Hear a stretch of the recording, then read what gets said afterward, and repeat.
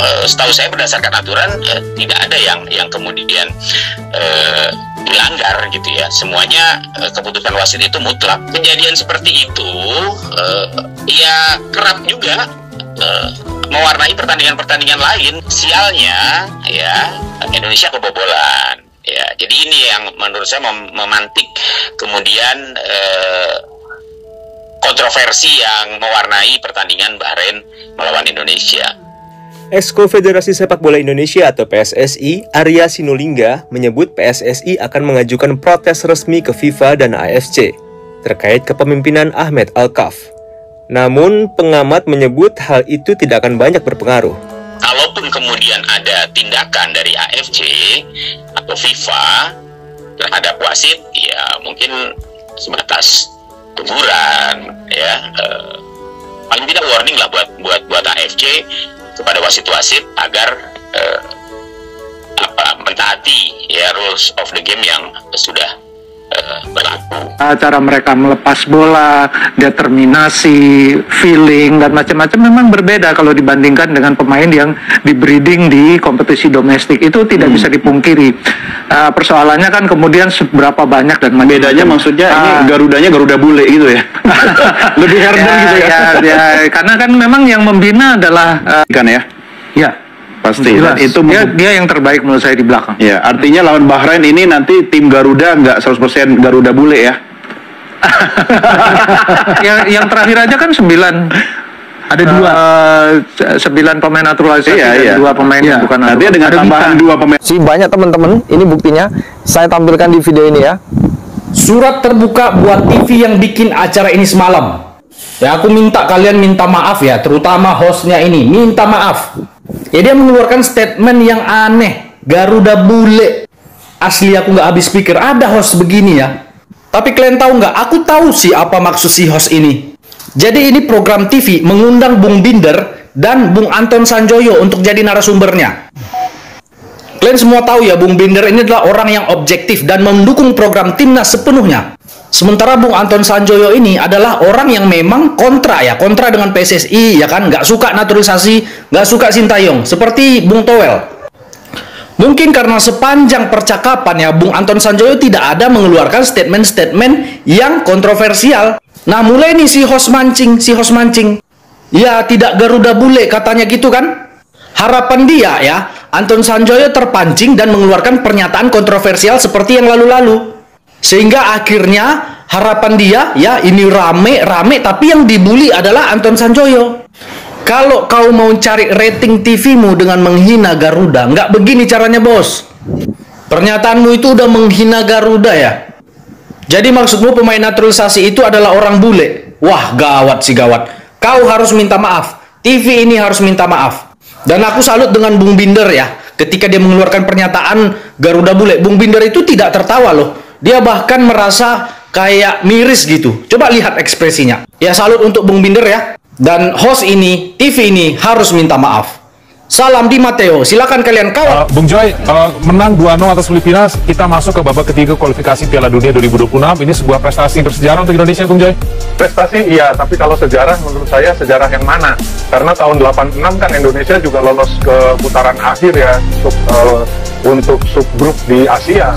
Bahkan tahun 86 dengan uh, Om Sinyo Aliandu, ada uh, Ferry Kiswanto, mungkin Coach Aji ingat, ada Feral Raymond Hatu, yeah, itu yeah. Indonesia tinggal empat kali main dan bisa langsung ke Piala Dunia. Kalau dibandingkan dengan sekarang kan masih 10 pertandingan kalau lolos lewat uh, posisi 1 dan 2, kalau tidak lewat uh, babak keempat.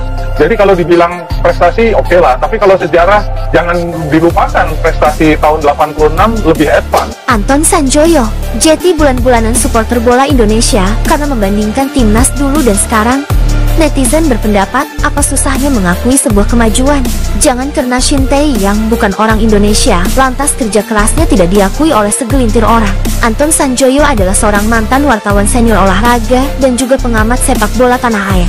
Kini dia banyak diserang oleh supporter timnas Indonesia. 6 kan Indonesia juga lolos ke putaran banyak pengamat ya yang kayaknya kurang mengakui atau enggan mengapresiasi prestasi dari Sintayong ya. Dan ketika disinggung mulai membanding-bandingkan dengan timnas era 86 ya kan. Kenapa? karena nggak terima itu. Jadi dia jawabannya gampang. Timnas 86 lebih baik. Timnas 86 lebih baik. Woi gampang kali jawabannya. Kalau memang timnas 86 itu lebih baik kenapa 88 dia nggak lolos Piala Asia? Itu aja lah. Kenapa 84 nggak lolos Piala Asia? Itu aja lah dulu Bung ya. Sementara tim Sintayong ini lolos kan ke round 3 kualifikasi Piala Dunia 2026 2023 main tuh 2024 kemarin. Main di Piala Asia main di Piala Asia 2024 2027 nanti juga main di Piala Asia.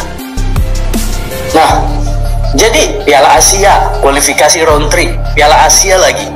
Sementara yang 86 84 nggak main di Piala Asia. 88 nggak main di Piala Asia jadi jangan membandingkan sesuatu yang tidak sebanding ya nggak bisa ya nggak bisa. Karena timnas 86 itu belum sebanding ya. Belum sebanding memang dengan timnas era Sintayong. Timnas era Sintayong lebih baik. Kenapa aku mau buka ini? Supaya orang-orang itu tidak lagi membanding-bandingkan ya. Timnas era Sintayong lebih baik. Jujur aja nggak usah kalian malu-malu ya kan? Aku aja aku aja begitu kalian bandingkan dengan timnas 86 kalian sendiri yang malu nanti. Bukan artinya apa ya ikan kalian dulu yang mulai nyinggung-nyinggung era 86 oke jadi kalau mau dukung timnas kalian dukung. Jangan membanding-bandingkan kalian dukung timnas 86 tapi nggak dukung timnas era Sintayong. Kenapa? Karena naturalisasi karena pelatih asing. Ya udah nggak usah malu-malu lah nggak usah malu-malu nggak usah segan-segan ya para pemuja lokal ya. Kita itu Indonesia mau itu diaspora naturalisasi itu Indonesia Ya, ini timnas Sintayong, bukan kaleng-kaleng. Salam timnas Indonesia. Sama dengan Bung Towel, baginya pelatih Fahri Hussein lebih baik daripada Shin Taeyong. Problem dari kita bukan Belum soal di aja ya? timnas. Problem kita itu di basicnya, di grassrootsnya, di bagaimana meningkatkan kualitas kompetisi. Bukan siapa pelatih timnas nggak penting buat saya. Kos Fahri jauh lebih baik menurut saya daripada Sintayong. Lokal siapa, asing siapa? Konkret, Ya, lokal dulu. lokal. Nah, lokal yang punya kapasitas integritas Fahri Husaini. Fahri Husaini. Ya, Timnas senior ya? ya. Oke. 86 kan Indonesia juga lolos ke putaran akhir ya untuk eh, Nah ini dia ya Kalian netizen sepak bola Indonesia Jangan langsung percaya sama omongan orang yang tidak berdasarkan data ya Jangan langsung percaya sama omongannya ini ya Dia bilang sejarah yang mana Timnas 86 lebih dulu buat sejarah lolos ke putaran akhir Cek sejarah, cek sejarah Biar ku kasih tahu sama kalian ya Boleh kalian cek sendiri 1986 itu Indonesia itu kualifikasi Piala Dunia cuman lolos sampai putaran kedua. Nah, putaran kedua, dia bilang putaran akhir, nggak ada putaran akhir. Cek aja sejarah kan itu yang menangkan Korea Selatan kan dengan agregat 6-1. Korea Selatan mengalahkan Indo. Kalau memang putaran akhir, Korea langsung lolos itu Piala Dunia. Nyatanya enggak. Korea Selatan harus main di final playoff zona lawan Jepang. Nah, setelah dia lawan Jepang baru dia lolos. Coba cek. Jadi seandainya waktu 86 itu Indonesia yang menang lawan Korea, apa Indonesia langsung lolos? Enggak, dia harus lawan Jepang lagi di final zona.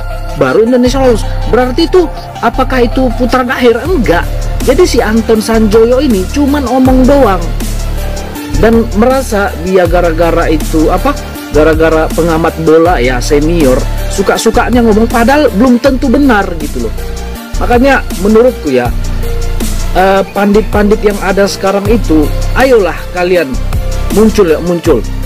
Banyak pandit-pandit hebat yang berdasarkan sejarah, tapi memang objektif ya, bukan anti sintayong, bukan anti naturalisasi. Ya ini kayaknya satu rombongan lah ya kayak Bung Towel ya kan, kayak eh, Anjas Asmara semua mereka sama. Intinya begitu, kayak terlalu sinis sama Indonesia ini.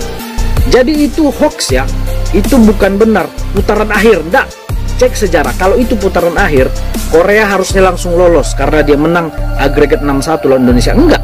Dia harus main satu pertandingan lagi di final zona baru lolos. Makanya tahun 86 tuh dua negara Asia yang lolos Irak sama Korea ya. Jadi jangan asal ngomong ya. Ngomonglah berdasarkan data yang benar. Jangan asal ngomong. Metro TV juga undang pandit yang benar ya. Kalian juga jangan termakan langsung. Cek sejarah. Betul nggak boleh dicek ya yang ku bilang ini ya. Salam sepak bola Indonesia. Sintayong nih bos, bukan kaleng-kaleng ya.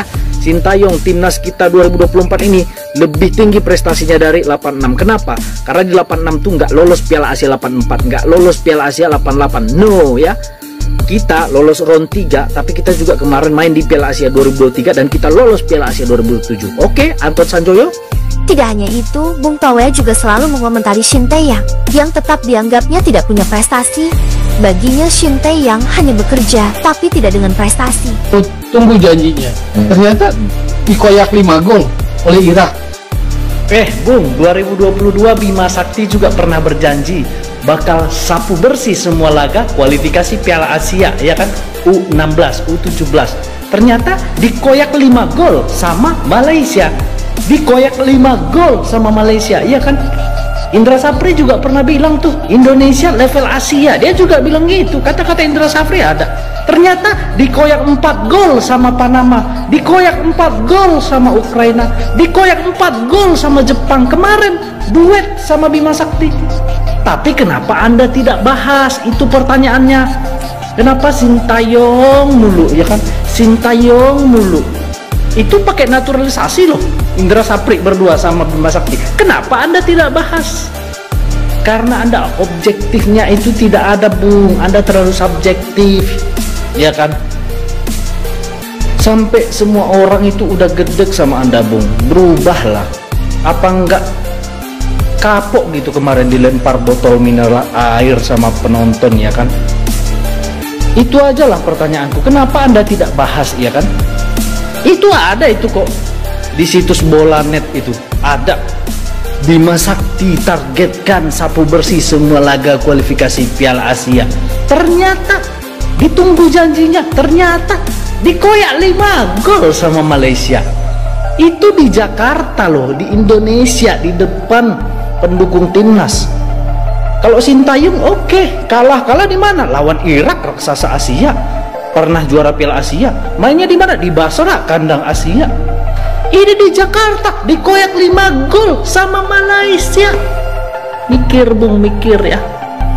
Jangan cepat kali ngomong tapi anda tidak mau jadi orang yang objektif ya. Jadilah orang yang objektif ya. Jadilah orang yang objektif. Oke salam timnas Indonesia Sintayong nih bos. Bukan kaleng-kaleng